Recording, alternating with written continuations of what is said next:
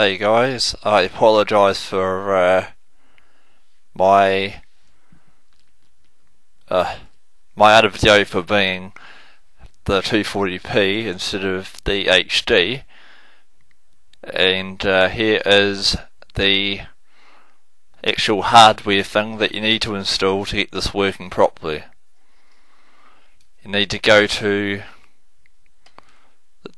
you need to Google you need to Google the product and click the top link.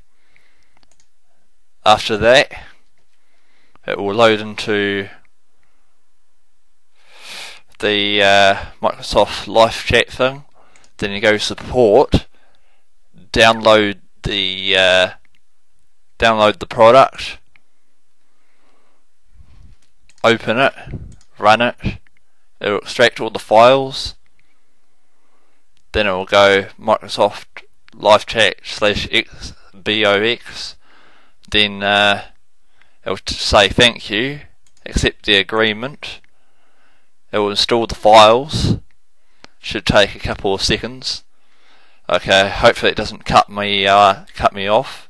It says I've already installed it on my system, but uh, it will go through the installation. And if you had any uh, Windows Live Essentials, you could turn them on as optional with the installation or you can just install the drivers themselves.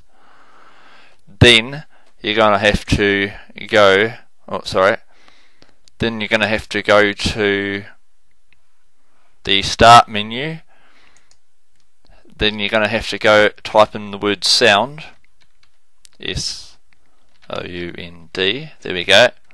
Then you have to go click on that then you should have that. Go left click, go test.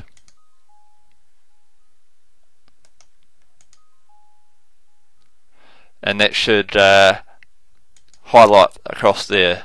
If your microphone is working correctly, you should have uh, five, six. You should have the ten bars scrolling across the screen. If you don't, go to go to properties go to custom and then turn on AGC. That's a special boost that uh, allows the that allows this uh, microphone to function correctly.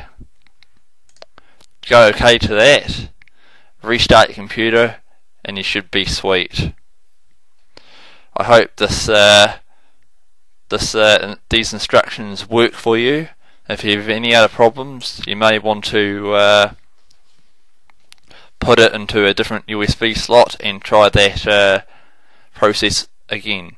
But remember, you must, if you don't do this, you screw everything up. You must uh, download the support files first, install them, and then put your uh, put your Microsoft LiveCam USB cable inside the computer for it to work.